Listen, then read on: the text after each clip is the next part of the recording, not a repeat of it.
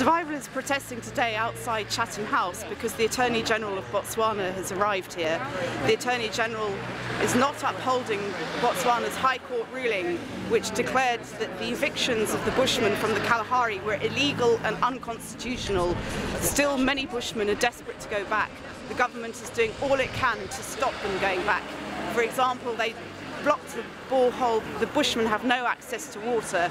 Bushmen are still dying from despair, dying for diamonds. So Survival has organised this protest to show the government that we will not stop campaigning until all the Bushmen are back on their land and have access to water and can hunt freely. As a jeweler, I do work with diamonds and there's a huge issue. I mean, jewellery is becoming more ethically aware and consumers are becoming more aware of of the background of the stones and the metals and materials and who's who's working and who is being exploited, who's gaining. And I know that I just don't want to work in a material that has caused damage or death or misery to anybody. So I think as, as a luxury item, which diamonds and jewellery are, I think one thing that we cannot do is have an unnecessary luxury item causing harm.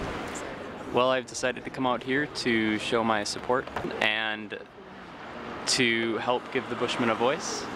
Uh, some government officials will be here and we hope that we can bring light to the issue that the Bushmen are being exploited for diamonds